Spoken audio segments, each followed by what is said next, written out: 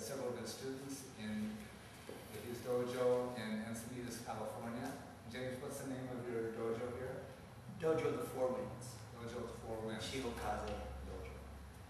And uh, this dojo has an interesting background. It, it uh, was initially an Aikido dojo. Could you just give us a real brief uh, summary of how it came to be that you're here today teaching? Well, i- in the early 70s, I met a man named B.J. Carlisle. And B.J. taught Aikido and was a very, very interesting guy in all kinds of ways, including being a uh, Marine uh, Pacific Campaign veteran who was wounded very badly and survived. Um, and I became friends with BJ in the early 70s. And actually, um, he is the one that pointed me in the direction of Yanagi Ryu. Um, pointed me to John Clodig Sensei, who I trained with for a couple of years, and then uh, uh, began training with uh, John Clodig Sensei's uh, teacher, Don Angier.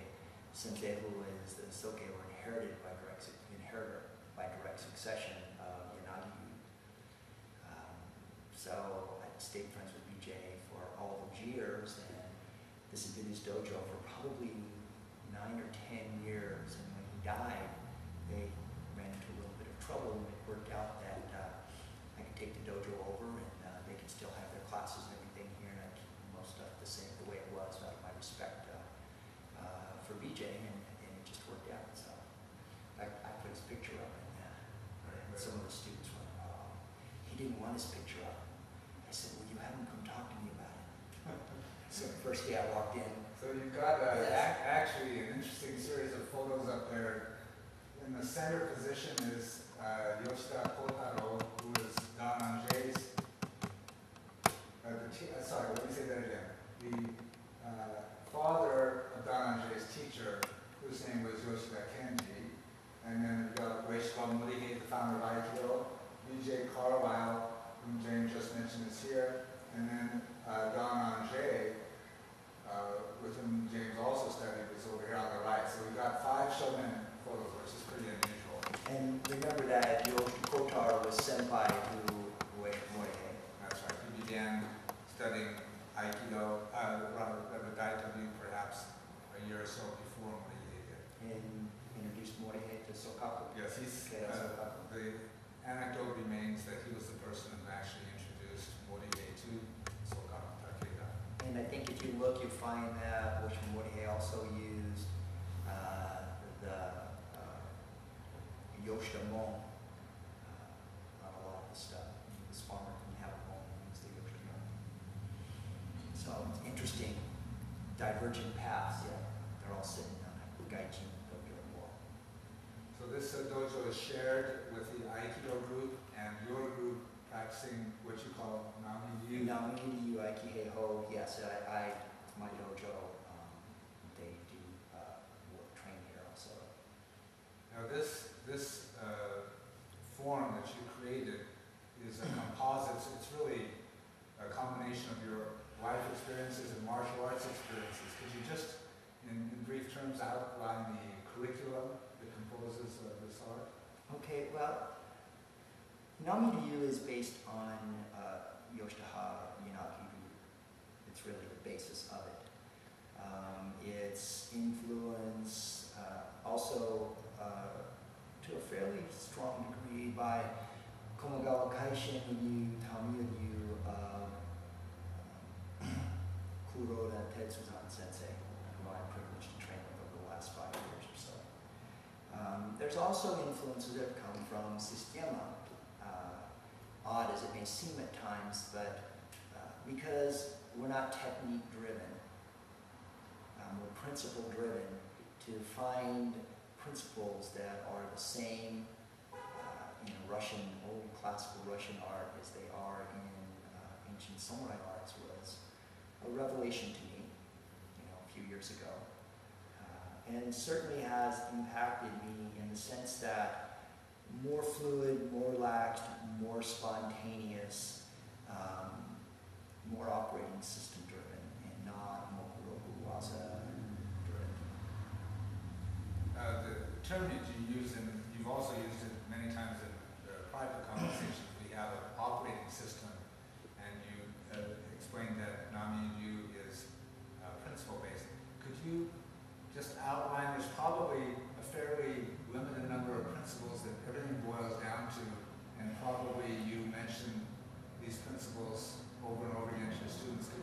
perhaps just enumerate the principles very briefly?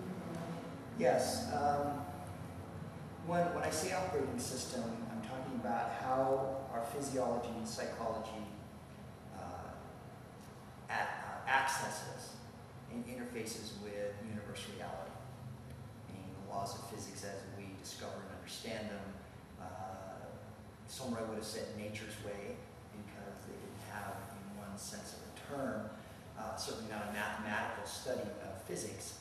Um, and we're talking Newtonian physics, and we're also talking quantum physics, because as you get into higher levels of the art, um, the only way of, of really understanding them from a scientific standpoint, you do have to start getting into uh, understanding quantum physics.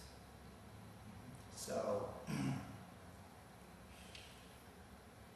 we have several things, uh, little, uh, I don't know if you call them, we kind of break things down into, rather than do this technique or that technique, or this series of Nikajo or this series of Nikajo. Um, you have three things that you manipulate in physical combat. Distance, time, and relationship. I'll make sure that's copied, I'll put it down because we can do all this.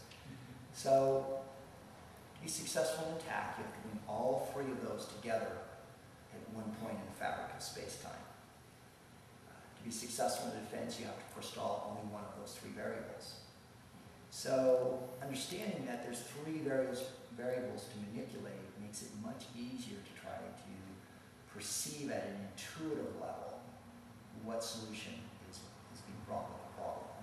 So one of the core, uh, one of the core uh, principles uh, of, of Nami Ryu is that every problem comes with its own solution.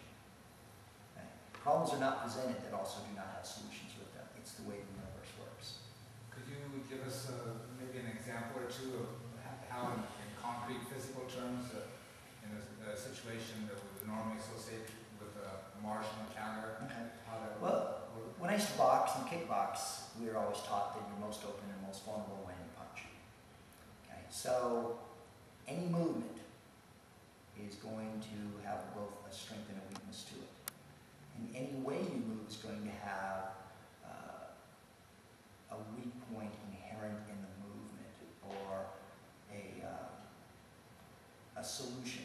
If if depending upon how your opponent is approaching what he's doing, if you can take and look at him as an entire energy system, get away from looking at his hands or his feet or his eyes or his sword, then you'll see, you'll see, you'll see in the shape of the energy a solution.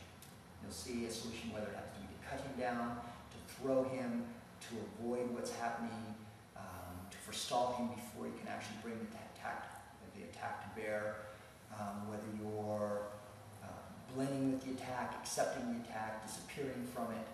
Uh, those things all become apparent to you once you understand how, how the principles work.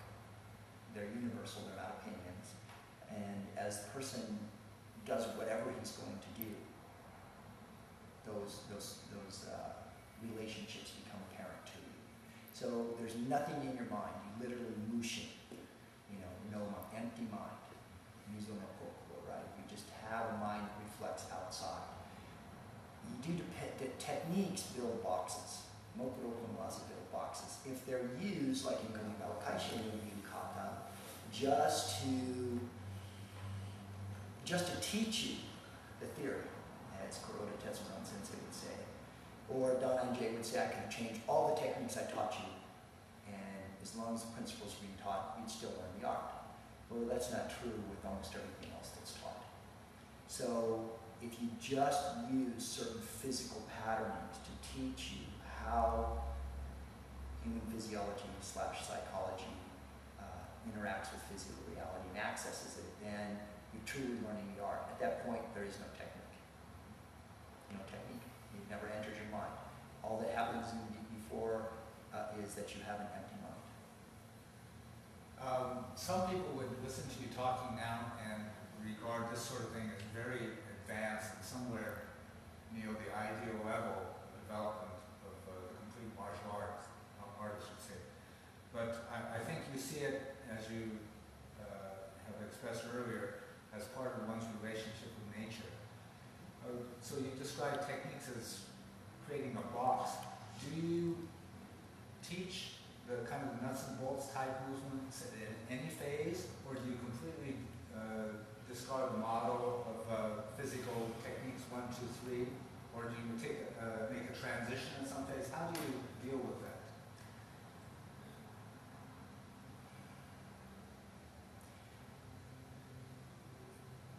Several ways. Okay. One, show how the human body keeps itself vertical, how it interacts with gravity relatively level plane that we stand in and move on.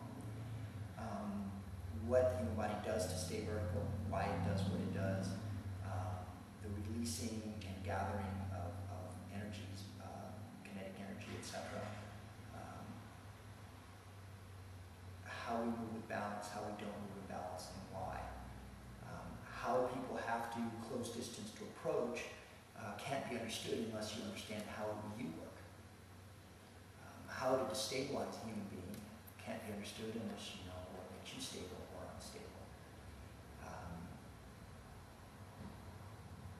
a key ingredient is that you have to get outside yourself. You have to understand this is not about you.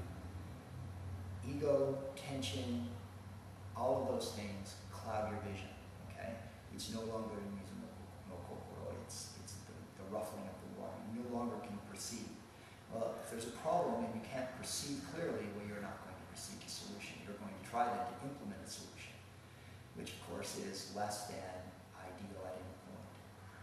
So some of the things that we go back to, Let's Go pause for a moment. Get rid of this. Okay, Please continue to elaborate.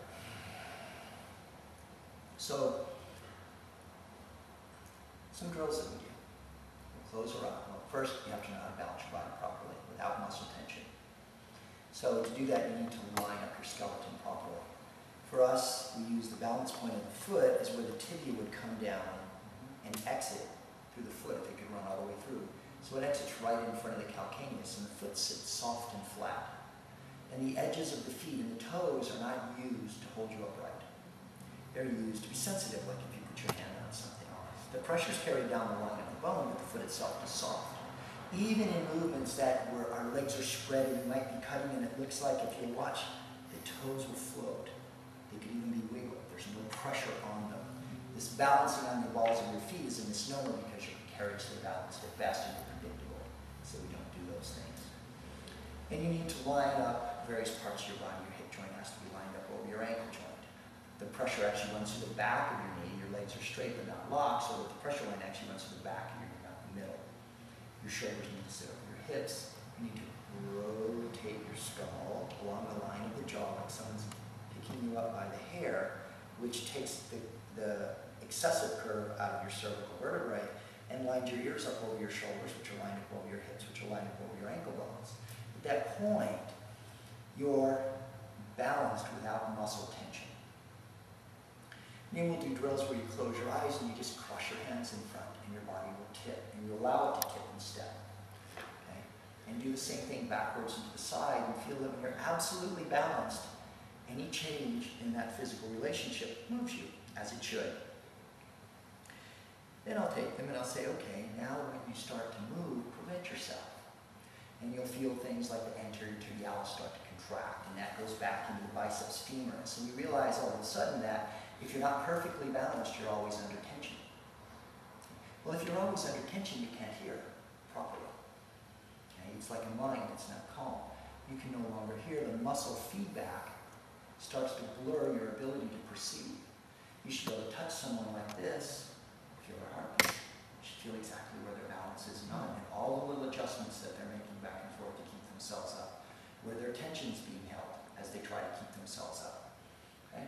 So we find that if you don't have proper posture, which is a relationship with physical reality, force of gravity, etc., then you're not you're not a uh, you're not like a still pond.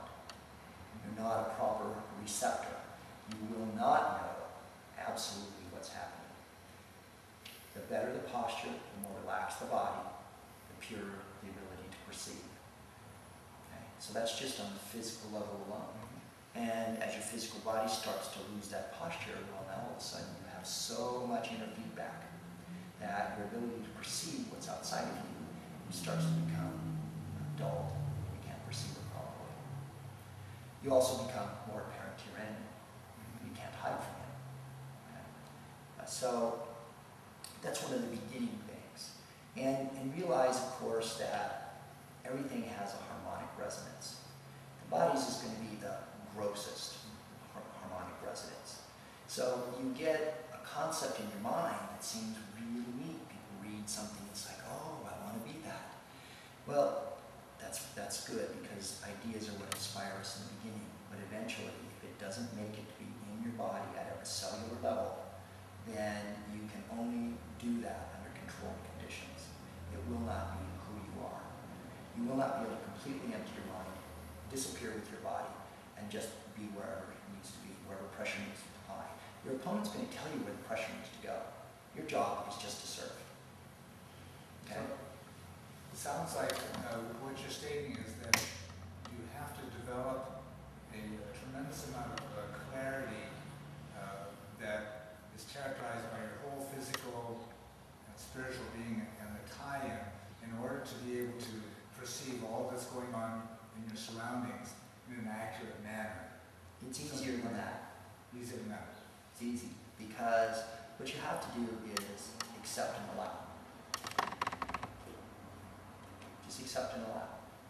So the things that we don't want to do because, or the things we need to become aware of, let me put it that way, is it shouldn't be this way. It should be some way else. That's not reality. You're not in the now. Judgment. Judgment's a past act. Right? We're no longer present. Um, mental, emotional, you know, psychological uh, garbage like that, fear-based, clouds up. Okay, it, it, you're, you're looking through a glass darkly. It, cl- it clouds up your ability to perceive. You're no longer just living in the present moment of now. You're in past future. You're in realities that don't exist. Okay? So, which is actually a lot of work and prevents you from, from really living sense of the term. So if you accept what is as is at every moment, and you allow things to be as they are, that frees you up enormously. So it's not like you have to work at it in one sense, you just have to let go. The more you let go, the less it's about you at every level of your being, the more you conform with universe reality, which is the manifest will of God, however we can perceive them. I don't think anybody can perceive them properly because it's well beyond our abilities. However, you know, and that conformity is is essential to us evolving as beings at every level. Things are the way they are. They're the way they are for a reason. To say they should or shouldn't be some way is not recognizing reality. To say that, and things can only be exactly the way they should be at any point in time because it's not possible for them to be any way different than that. It's impossible because everything is subject to the laws of physics. Everything. What what you described uh, to me now, I would associate it with um, a situation where we are present in a reality and there's some threat or some potential threat. What, let's flip that around. I know you're involved in uh, uh, work in training of police and military, paramilitary, this sort of thing.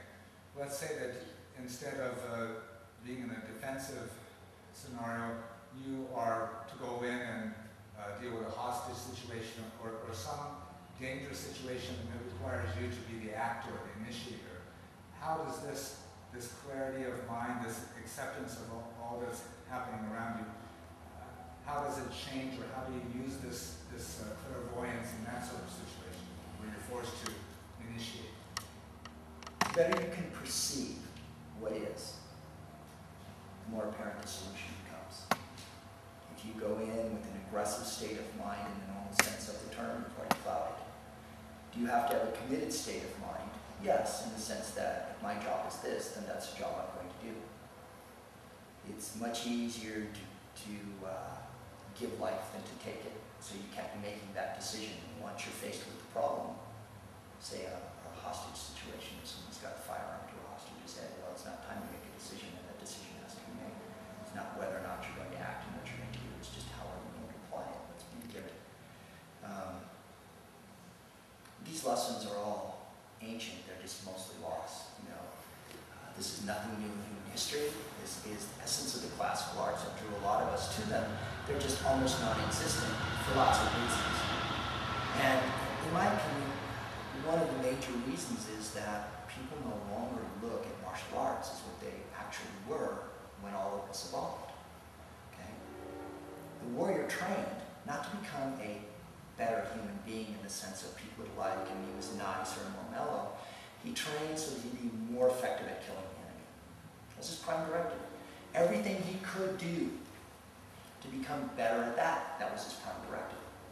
So some people went on one path, some on another, but every now and then in history, a person or a group of people or a or a path of knowledge became where people rose above the conflicting part of it and could solve those problems more efficiently, whether it was cutting down the enemy when he couldn't, before he could even move, or it was solving the problem in a way that may necessitate that. Uh, you can't get there unless you're prepared to train with that one thought in mind. That is the job of the warrior, period. These were warrior arts. They become something different. And, you know, the difficulty, as we were discussing earlier, in Japanese, is people use terms that might have been used a long time ago that don't mean this at all. You know, Budo did not, Budo did not mean the way of peace in the 16th century. Didn't mean that. It's a completely different meaning. Um, warriors didn't train. When Musashi was training to be a better person, it was to make him a better warrior. Now, the path that he trod, as you become ever more aware of the universe relationship and what is, it starts changing your perspective. One, you realize that conflict is inefficient. It's not in perfect conformity with universal law. And by efficiency, we mean that it takes the least amount of time, space, and energy to solve any problem. So, as you become ever more efficient, to do that, you have to become ever more in conformity with universal law. The more you conform with universal law, the less ego and fear, the less chance of something happening on the one hand, but also you don't tend to fight anymore. Now, someone may be shot down or cut down, but you're not fighting about it. The fighting about it and defending yourself and your position that way creates a completely different physical and psychological dynamic than accepting, allowing, and just doing what needs to be done. And when we read, well, he was cut down by his own sword or his his own, you know, his own movement or his own, you know, he caused that himself. Well, this is what we're talking about. People make those decisions and they do that and that's the problem. That's the solution they brought with the problem they're presenting. Um, and in one sense of the term, we're almost not involved. We're almost not involved with it. You just do what needs to be done. If it's cutting down, it's cut down. In Modern times, if he's shot down, he's shot down. There's people that need to be shot down.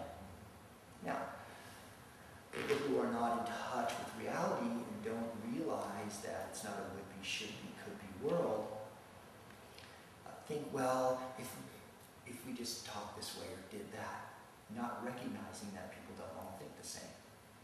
And that people make choices, and as they make choices that affect other people, then Satsu Jinken comes into uh, Satsu play. Satsu Jinken. Okay? The sword that kills. The sword that kills. Now, the proper use of the sword that kills is to protect the innocent. Okay? Well, there's people who are killing innocents today. There's as much a need for the warrior in the old sense of the term, not in the modern sense of everybody let's get along and just be strong, but, but huggy bear. There's, there's just as much of a need for the warrior today as there was 400 years ago in the feudal Japan. Right? Satsu Jinken, Katsu Jinken. Okay, the sword that kills is the sword that gives life. So if we're going to protect the innocent, then there's bad people out there. Okay? It's not even our point at this to try to understand their point of view? If they threaten the women and children, they gotta go. Okay? If you can negotiate, that's fine. But there's always been a huge percentage of that population that can't negotiate. Or all that's happening in the negotiation is they're getting stronger, i.e. Hitler in the thirties. Negotiations fine with him, date and time. Foolish not to act when you could have forestalled something rather than wait. We're in dire times, in my opinion. Now, I hope everybody can look at me five years ago at Aiki Expo and say, you were wrong, because I'd like to be wrong about this, but I don't think so. Um, and it's many, many factors, far too complex to go into here. But the bottom line is the need for warriors and warrior training is no different today than it was 400 years ago. The need for the warrior to protect the society is no different today than it was 400 years ago. But you have to train properly or you're not going to be adequate to the task. Or the attrition rate is going to be high. So the reason I like the classical arts is because that was the crown directive. Now, as you become ever, as you train more, and you become more conforming with universal law, and you become less involved with yourself, I always tell my students, it's not about me, it's not about you, it's not about us. University and things are pretty small. And you, you don't run into idle conflict. You don't run into conflict where ego or something like that comes into play. You find that you can remain calm because you see the possible solutions. And that can forestall a whole lot of conflicts. Many, many people get in conflict. Most people, everybody fights out of fear. Now, it does make everybody running scary. So it makes fighting, fighting mad. I would say I was an undefeated kickboxer not because I wasn't afraid, but because I was afraid. My fear was fear of failure. It drove me. It drove me to train as hard as I possibly could. It drove me to fight as hard as I possibly could. Pain only fueled me, it didn't deter me. So, under those circumstances and with, you know, the people that I fought, I was successful at the time. Didn't make me a better human being, but it was probably, for me, a necessary step on the path. I think I had to go through that. I'd actually seen Don Angier's dojo in about 1968 when I was in the military at Fort MacArthur for a period of time. And uh, I drove by and I saw Roberts. Didn't really register to me. I didn't see that dojo again until about 1981. So,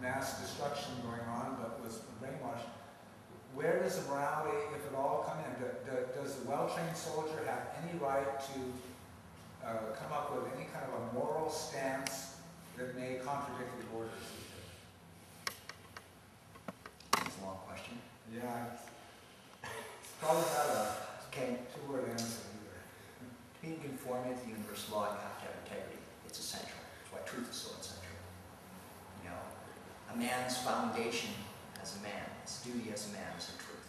That's all I said. Can't remember exactly I said that. Okay? So integrity is of the essence as you train, because if you don't have it, you cannot, you cannot follow this path very far. You have to have it ultimately. So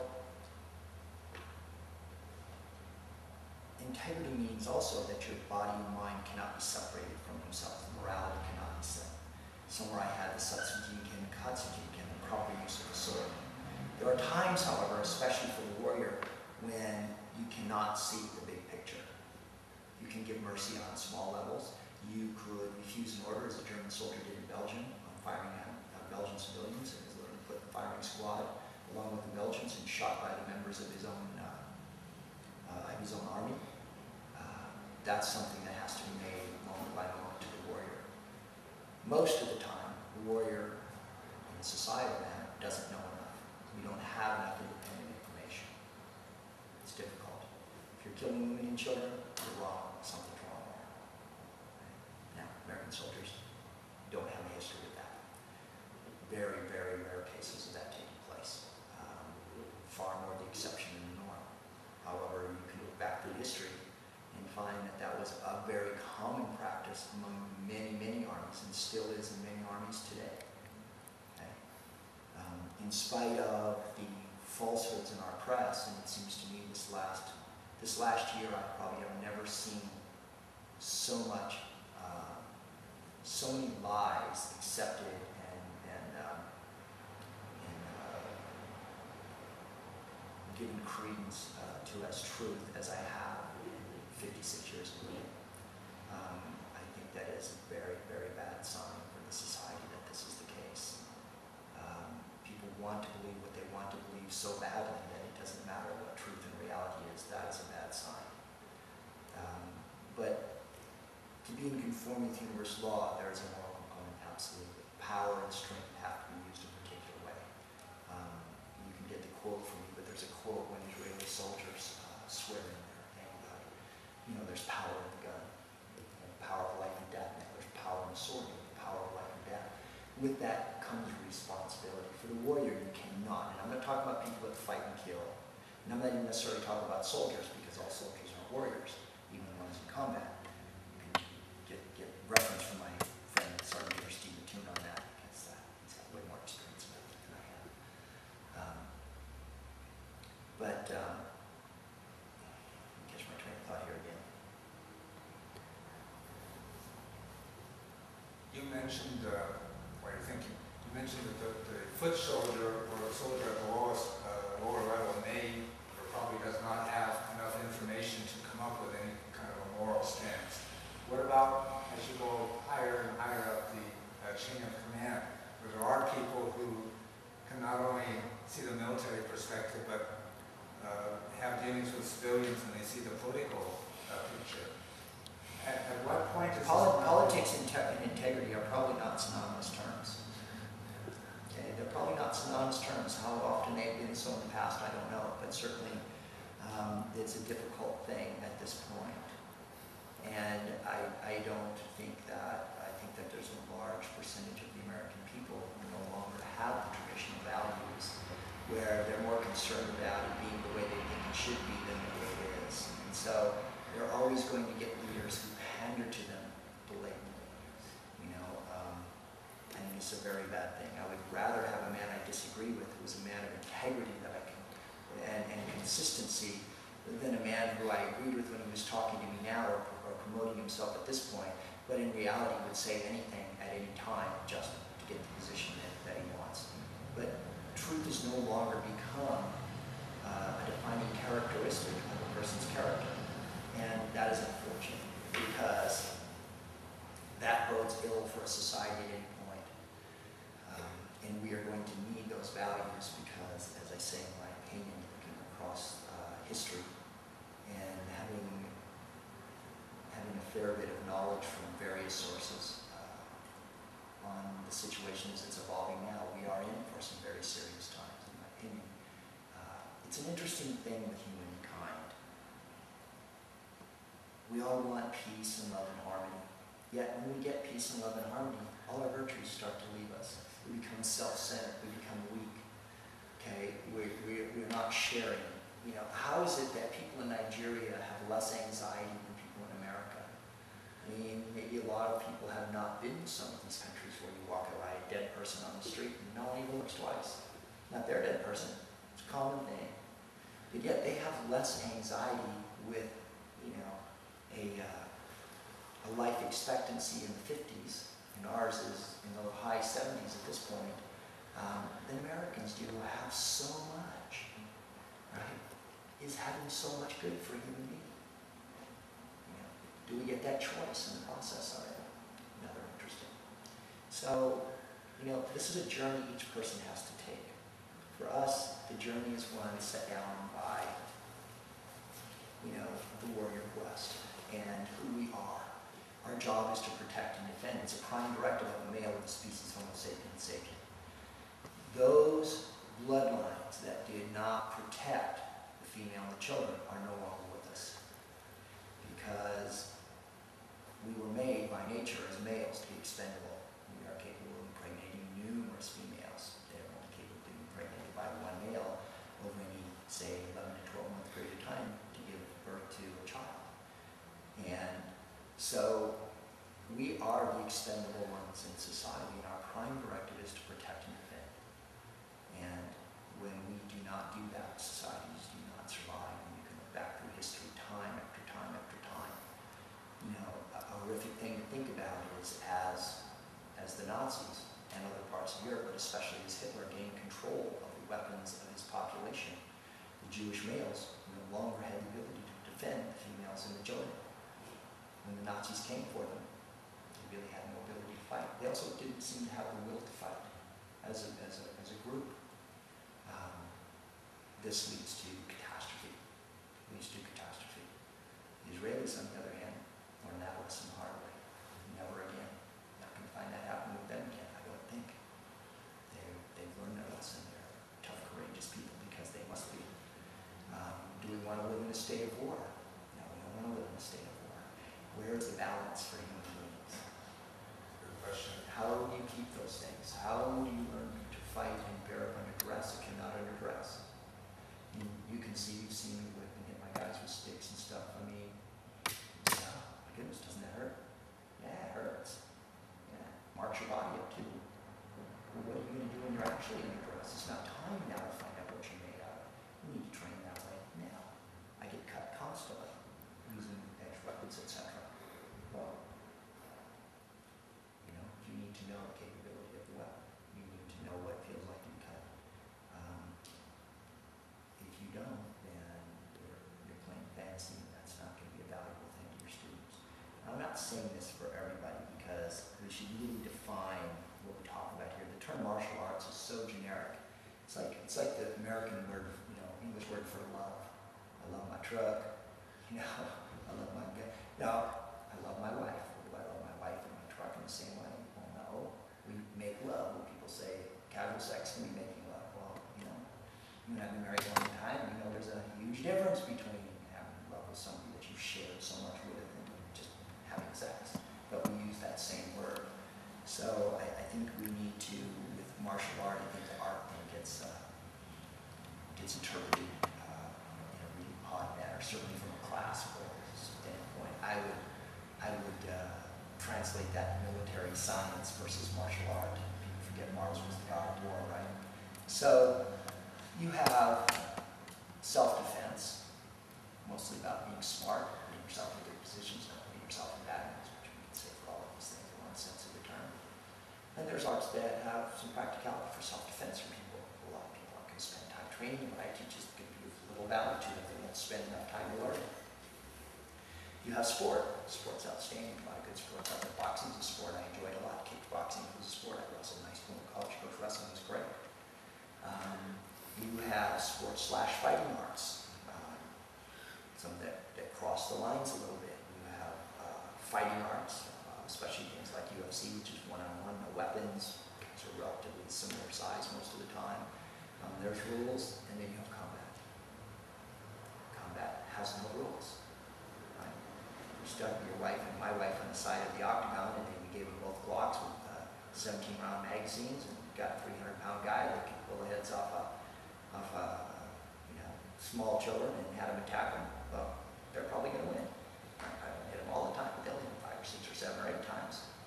You know, it's going to be pretty hard on them because you know, bullets don't respect brick. So we have a few more people in there, and you can't see where they're coming from, and you increase the weaponry. Now we're starting to get into war. War training for combat is a radically different, uh, radically different concept. Samurai training was training for war. It wasn't training for sport. It wasn't training for self-defense. It wasn't training for fighting. It was training for war. You had, you know, multiple opponents who had all different types of weaponry available to them, from spears to arrows to, you know, of clubs, uh, swords, you know, everything you can imagine. Uh, and you never knew how many there were necessarily. Their job was to deceive you, your job was to deceive them. Well, this training is radically different than training for a UFC or a kickboxing fight or a college wrestling match. Or personal practice for self-enlightenment. Those are completely different things. In my opinion, though, if you don't train and expose yourself to true danger, um, you're never going to fully understand and get to the place where the, where the ancients got. You can't get there by thinking about it, reading about it, feeling good about it. You know, as, as I tell my students frequently, that warm, gooey feeling is usually blood. So warm, gooey feelings have no place here in that sense of the term. Well, you've done, I think, an admirable job of expressing some of these concepts, which on an intellectual level may be hard to, to comprehend.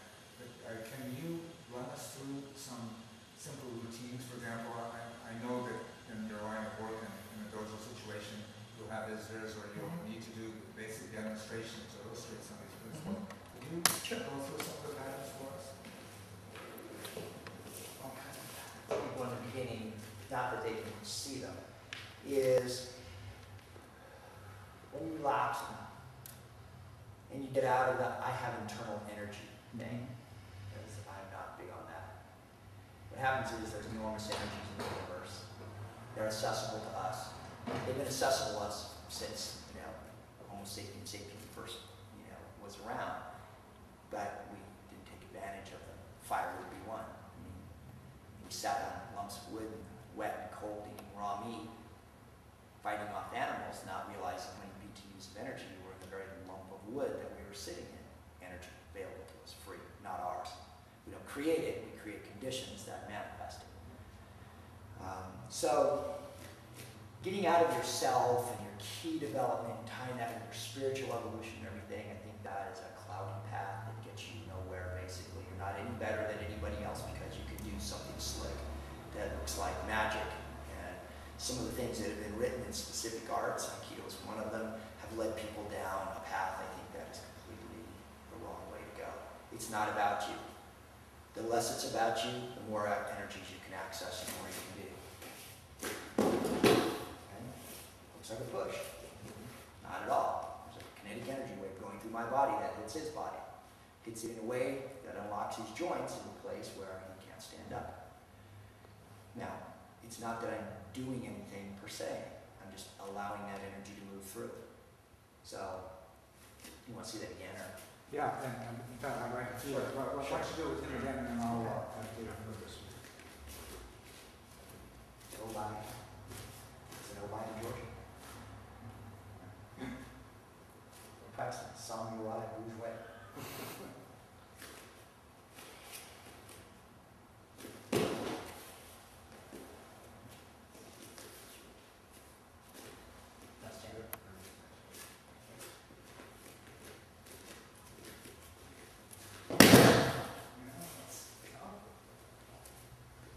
Now, it looks like nothing because it's Hiegon.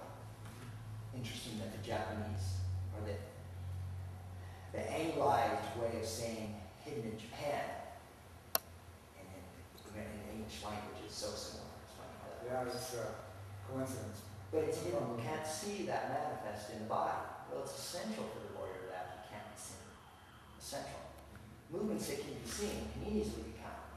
It's movements that can't be seen. Now, that comes from all kinds of things, but one of them is, John, I'm going to start with you real quick. Just- We use the sword differently. Mm-hmm. And I'm not comparing because a lot of people cut well and they cut different ways, and some will be very effective in combat. But our primary cuts are designed to cut our opponent down, not to hit him. I can cut really short and tight, no rotation of my shoulder. And it'll cut the leg, no problem. It doesn't, however, cut the person down. Mm-hmm. If I move the tip more, right, it'll cut him open, it won't cut him down. You know, and since the Irish uh, made up the rules of combat, Murphy's Law, if my enemy is within range, so am I. I could catastrophically open him up here, and he could still penetrate. He gets through the liver, there's two arteries in there. You got either one of them, I'm not surviving. Spleen's vascular, kidney, the renal artery in the kidneys. Okay, puncture a lung in the old days. You don't survive those types of things. So I would have won in the sense that he dies first loses. But I would have also perished in the process of that. So, like a 50-50 gunfight, eh, you know, hand-to-hand combat with heavy weapons is a one in three chance of survival. I kill you, you kill me, we kill each other. You can just pick, answer that, Peter, if you would. So, part of our whole process here is wondering, well, how do I cut somebody down as I? Well, the same energy that you just saw, I'm going to place this here because this is hard on clavicles and we bang hard piece of bone. I'm going to them down. Okay? Now, because I'm starting without this particular movement, you can see what takes place through my body a little bit. Actually, you probably can't see what takes place through my body very well. But the pressure that's being applied cuts him down as it cuts him open. Okay? You can throw people with pressures like that as you cut them because there's a fair amount of resistance in certain part of the bodies to cuts, to cut. Like, if I cut here, it's going to go through the neck easily, but it's also going to catch on the spine to some degree. And if you were really going to know how blood and bone and skin and everything feels, you probably should cut some things besides goes at times. Okay? Cutting down. Okay? Well, where do these things come from? When you start doing uh, like an Aikido Jiu-Jitsu type of throw, right? They come same energy. Same energy. Okay, same energy. Did you roll out of that better? Looking. Okay. We'll get one re-roll so it looks a little better if you're gonna use it for anything. Okay. That's the exact same energy. It's not a pushing energy, it's an allowing energy. It doesn't come, it comes from behind, Don Angier. Okay? Enormous amount of credit has to be given to Don Angier for how I understand things because he's the one that laid the foundation. I'm very fortunate training Tetsuzan, who is a phenomenally skilled individual uh, who functions at the highest level, in my opinion. Uh, I've been fortunate to train with Mikhail Ryabko, phenomenally skilled individual, functioned at the highest level from a completely different cultural background, but so similar in so many ways. Once you can get past the outside and see what's happening. Um, Vladimir, uh, a student, very exceptional as a human being and as a martial artist. So, what's happening here is, in fact, I'll get it from you. You have here. What happens is, you're functioning, you're accessing universe reality on a different level. So, if somebody comes up, say, you know, you know this particular block. Okay, We're just gonna have a block like this for a moment. Okay, so if you see things, block hard. What you do with this is pull the left hand hard, put this up against it, okay? Pull the left hand hard. Okay? Well, that would stop that. Come on here so we can. Because that is a normal way of functioning. I rotate forward, hit. Okay? But if I'm going to cut down from our perspective, what I consider at least a classical perspective, perspective for a certain group, if I cut down that way, I cut him down right through his sword because I never contest, I never contest with his sword. So in that sense, he can't block me, like in the last samurai where they both come around like that, we would just cut him down. Because as the pressure is being applied, instead of it being applied down this linear line into his foot, it literally comes around behind, and the whole sword changes relationship with him constantly. And the impediment that he puts up is just cut around and through, like it's not there. Compound pressures on it prevent him from being able to hold the sword off. Just like compound pressures on the top of your head, as subtle as they appear on the outside, prevent you from being able to get your feet, your balance back.